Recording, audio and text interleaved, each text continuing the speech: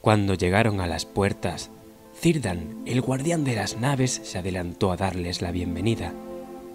Era muy alto, de barba gris, y todo gris y muy anciano, salvo los ojos que eran vivos y luminosos como estrellas.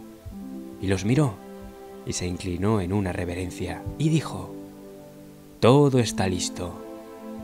Entonces Círdan los condujo a los puertos, y un navío blanco se mecía en las aguas, y en el muelle, junto a un gran caballo gris, se erguía una figura toda vestida de blanco que los esperaba.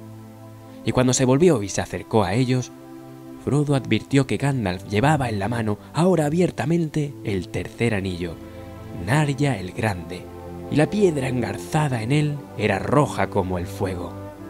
Entonces aquellos que se disponían a hacerse al mar se regocijaron, porque supieron que Gandalf partiría también.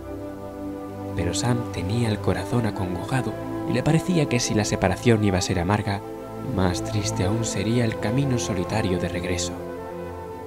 Pero mientras aún seguían allí de pie y los elfos ya subían a bordo y la nave estaba casi a punto de zarpar, Pippin y Merry llegaron a galope tendido. Y Pippin reía en medio de las lágrimas. Ya una vez intentaste tendernos un lazo y te falló, Frodo. Esta vez estuviste a punto de conseguirlo, pero te ha fallado de nuevo. Sin embargo, no ha sido Sam quien te traicionó esta vez, sino el propio Gandalf. Sí, dijo Gandalf, porque es mejor que sean tres los que regresen y no solo uno. Bien, aquí, queridos amigos, a la orilla del mar, termina por fin nuestra comunidad en la Tierra Media. Id en paz. No os diré no lloréis, porque no todas las lágrimas son malas.